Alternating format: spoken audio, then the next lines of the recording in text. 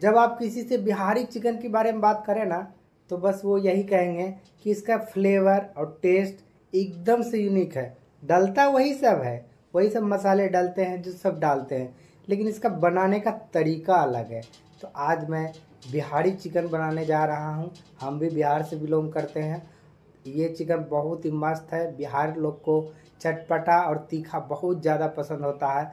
तो आप देखिए, आज मैं बिहारी तरह के, बिहारी स्टाइल से चिकन बनाता हूँ। हेलो दोस्तों, मैं हूँ दीपक और आप सभी का हमारे यूट्यूब चैनल अपना स्वाद में बहुत बहुत स्वागत है।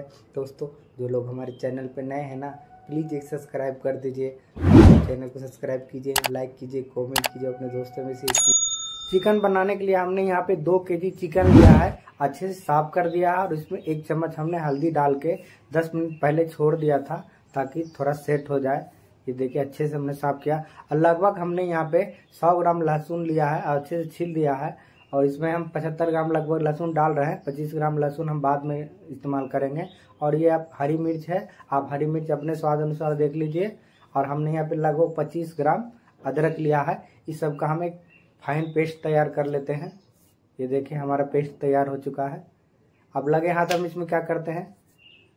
हम एक बॉल में इसे ट्रांसफ़र कर लेते हैं। फिर हम यहाँ पे दो मीडियम साइज़ का टमाटर लिया है। इसे भी हम सेम करेंगे। इसे भी हम एक पेस्ट तैयार कर लेते हैं। टमाटर का भी। आप चाहे तो इसका पेस्ट नहीं भी बना सकते हैं, लेकिन पेस्ट बनाने से थोड़ा बेटर होगा। ये देखिए, हमारा पेस्ट तैयार हो चुका है टमाटर का। अब हमारा सारा मसाला वगैरह पीस चुका है। अब इसे साइड में रख लेते हैं। हम चलते हैं डायरेक्ट पेन के ऊपर। पेन हमने पूरा गर्म करके पहले से रखा था और इसमें हम सरसों का तेल डाल रहे हैं। ध्यान रखिए दोस्तों, आप जब भी चिकन बनाइए तो सरसों का तेल ही डालिए तो अच्छा टेस्ट आएगा और साथ में थोड़ा जीरा दे दिए हैं। जीरा चटक गया, अब थोड़ा तेज पत्ता डाल देते हैं और साथ में हम यहाँ पे ये प्याज कटा हुआ है। हम यहाँ पे लगभग दो के चिकन है तो हमने यहाँ पे 400 से 500 ग्राम के बीच में प्याज डाला है। प्याज को हम इतना भूनेंगे ताकि उसका सारा पानी एब्जॉर्ब हो जाए और थोड़ा गोल्डन ब्राउन हो जाए, नहीं तो क्या होगा चिकन भी पानी छोड़ता है।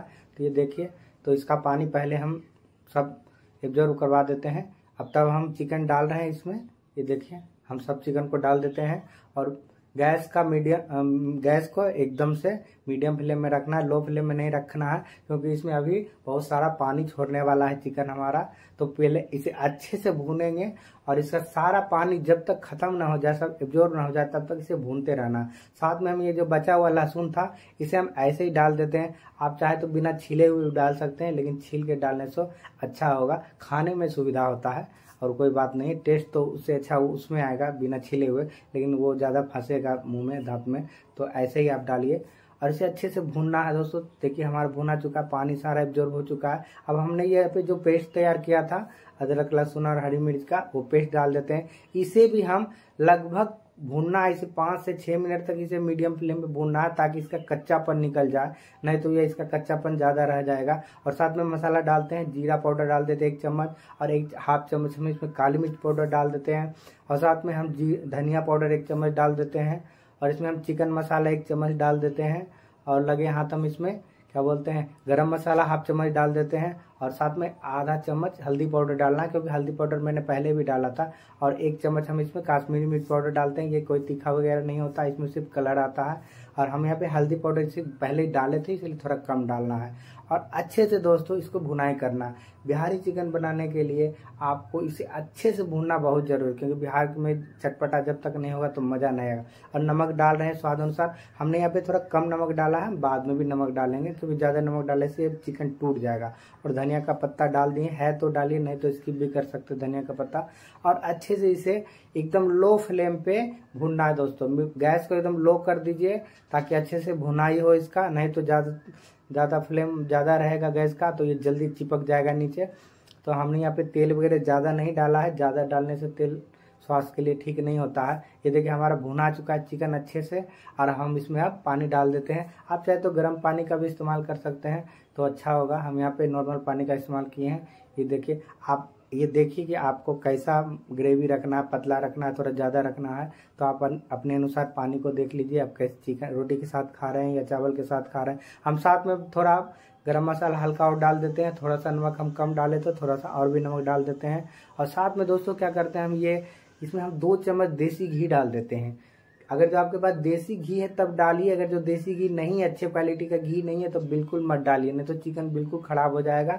ये देखिए हमारा चिकन एकदम पक चुका है पूरा। ये देखिए अच्छे से अंदर तक पक चुका है, हम आपको दिखा देते हैं। ये देखिए, अच्छे से पक चुका है और हमारा चिकन हो चुका है कंप्लीट आप चाहे तो अभी बंद कर सकते हैं गैस को, लेकिन थोड़ा ग्रेवी को और गाढ़ा होने देते हैं। तो दोस्तों, कैसा लगा हमारा रेसिपी अगर जो हमारा रेसिपी आपको अच्छा लगे तो प्लीज़ जो लोग हमारे चैनल पे नए हैं प्लीज़ सब्सक्राइब करना ना भूलें। जो चैनल को सब्सक्राइब कर चुके हैं प्लीज़ लाइक कीजिए कमेंट कीजिए, अपने दोस्तों में शेयर कीजिए।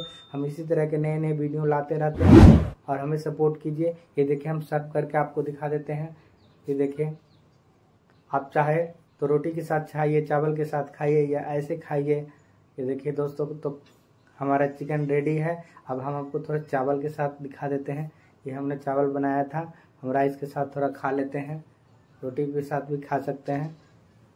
ये देखिए, थोड़ा सा खीरा डाल देते हैं दोस्तों।